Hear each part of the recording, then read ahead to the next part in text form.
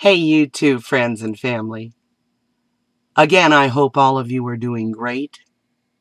And it's so good to see you here.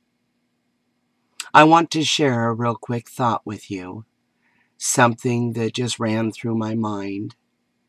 With all the things that are going on around us, sometimes we need just a little boost of everything's okay. Through our eyes and connected with our hearts, beauty is truly all around us. Among the darkness, the little lightning bug shines and leaves us all in awe. Not unlike the skies above us, though we see trails that make no sense, there's always that little piece of blue that peeks through. The flower that breaks ground in the war-torn earth beneath our feet, reaching up for the glory of the sun. Look and feel, dear friends. Love is here Beauty is there. Connect the two. That's all we need to do. This is our world. That's the end of, of my thought for you today. Very short and quick. The video message that I wish to share here today is for Mr. Obama. So if you're bored with political nonsense and tired of the misleading and often deceptive messages that are thrown in our faces daily, you might want to close this video out and move on to someone else's channel where there you will find great videos, some of them more than worth our viewing time. So, dear friends and family, I thank you and great big hugs and love always. The rest of this video will be for Mr. Obama. Thanks, guys. Mr. Obama,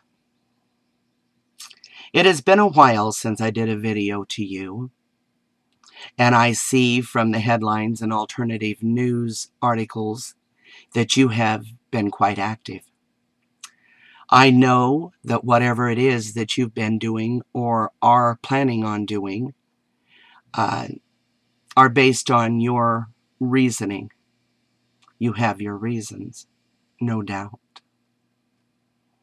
I wish to say up front that I'm not seeking an explanation for why you do what you do, or to challenge you in any way, shape, or form for anything that you do.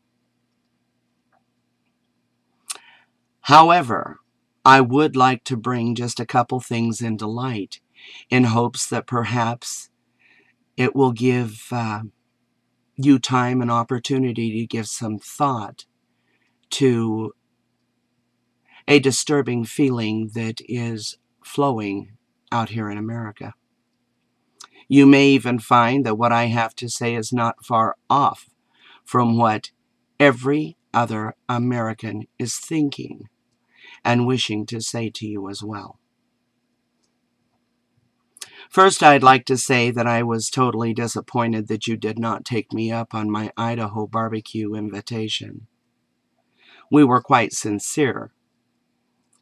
It would have been nice to at least have gotten a rejection letter or an email from yourself or the First Lady letting us know that you would not be here. Not to worry, though. Your portions were certainly not wasted. We do have a couple teenagers in the house, and with teenagers in the house, leftovers do not go to waste. The dinner was something that you really would have enjoyed, I think. It was a great meal. It turned out very, very good. The GMO corn was a little bit hard to digest. The steak, however, was awesome.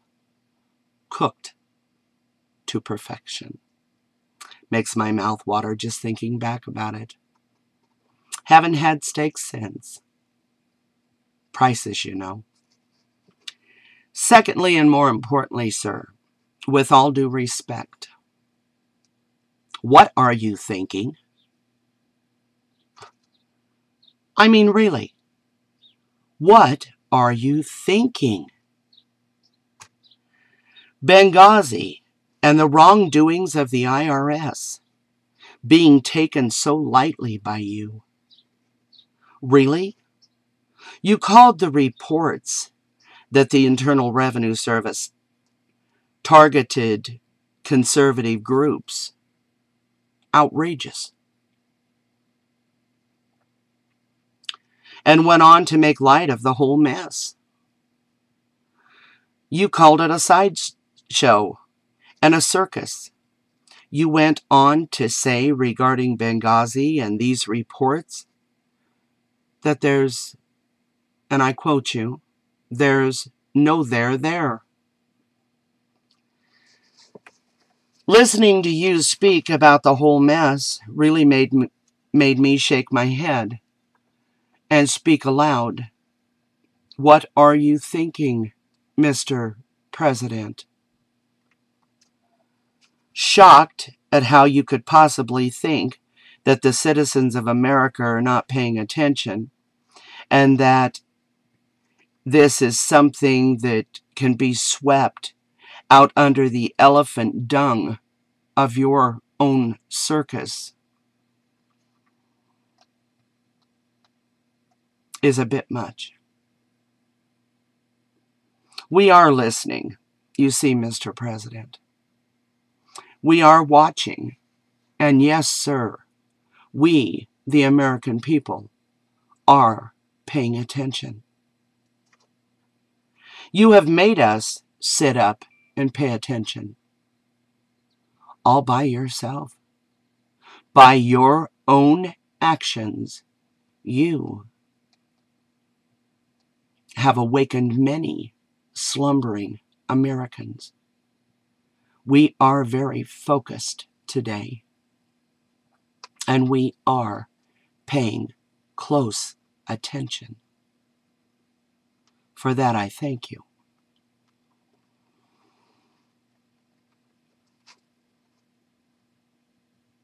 With all the deceptions and the so called drills that have been taking place across America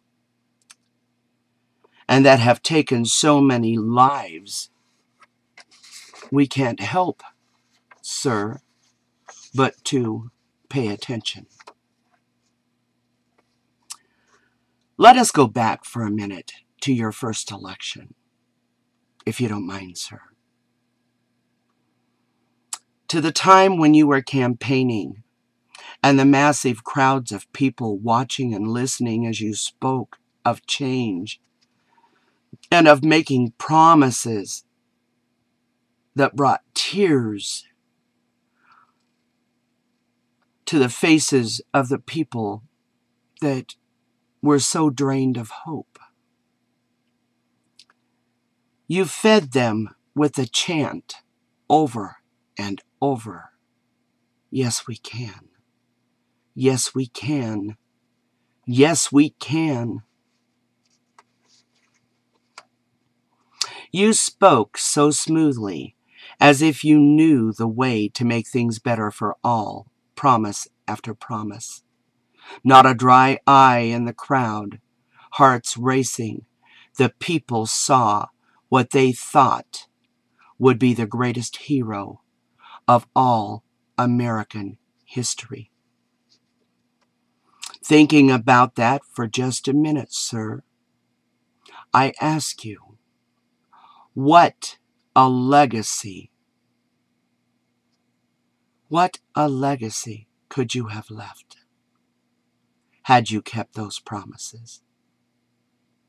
Had you truly been the hero? if you had been at all sincere, sir.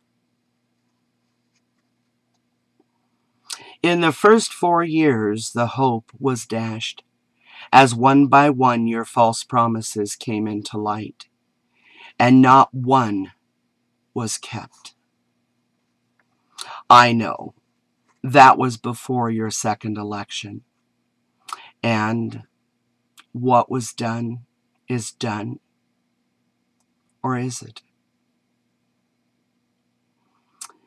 You know, sir, again, with all due respect, what are you thinking?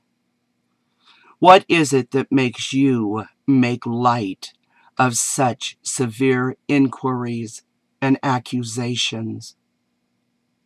How can you make light of this? How can you?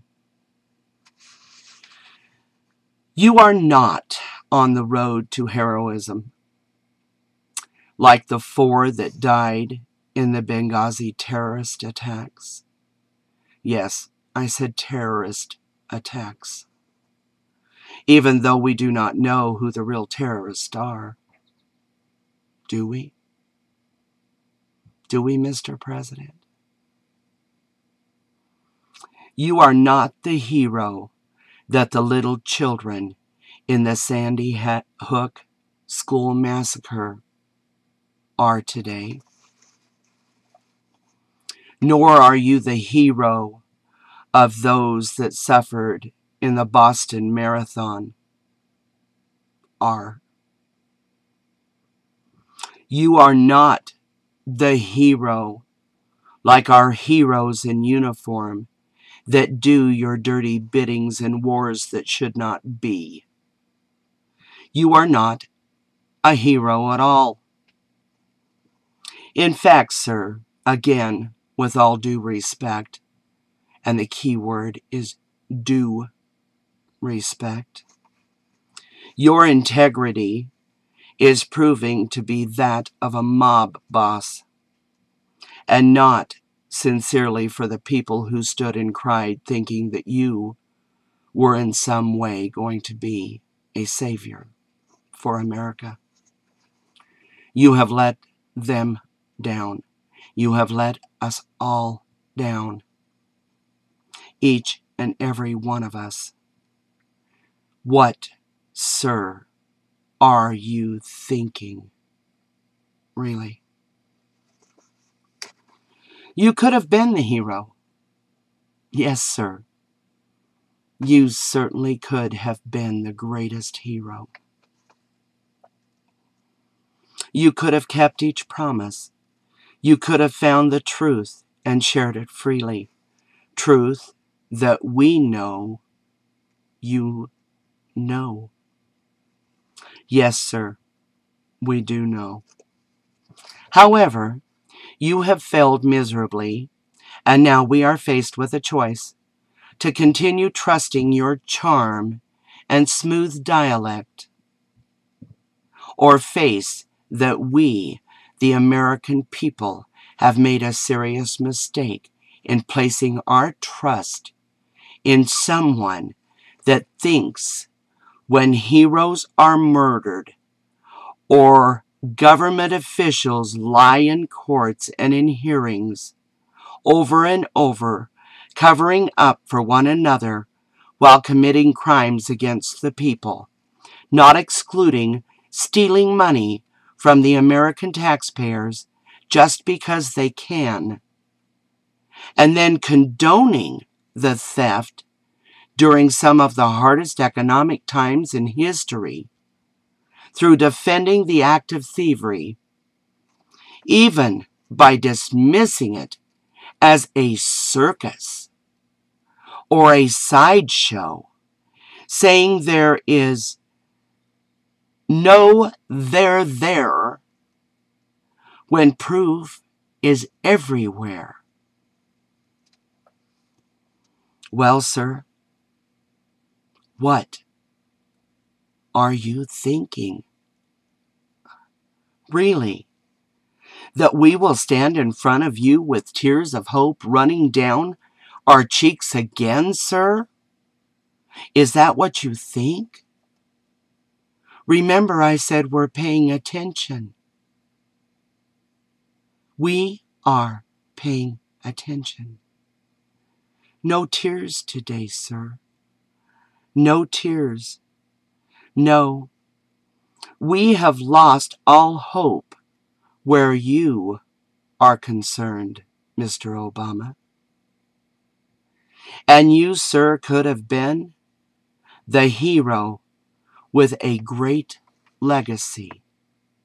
However, you chose to refer to these important issues as nothing more than, and I quote you, sir, a political sideshow. What, Mr. Obama, have you been thinking? Really? I will say this. As an American, through and through, I can speak here only for myself. However, I will venture to say, and I think many Americans will agree, you, sir, are no hero in America. Heroes, you see, sir, have integrity, like all the soldiers that have died in nonsense wars. The children that have died. Yes, sir. The children had integrity. The runners that day in Boston that died the 3,000 that died on 9 11. And let us not forget the four that laid their lives on the line and died in our American Embassy safe house in Benghazi.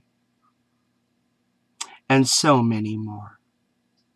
So many more war victims.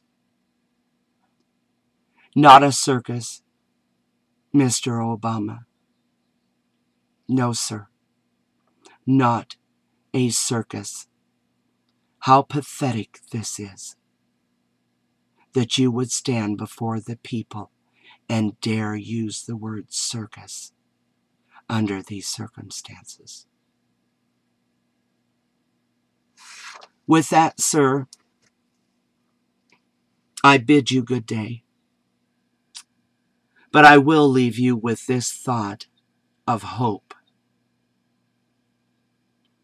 From the mouths of the American people. May the truth pour from every corner like honey from its cone. Good day, Mr. Obama.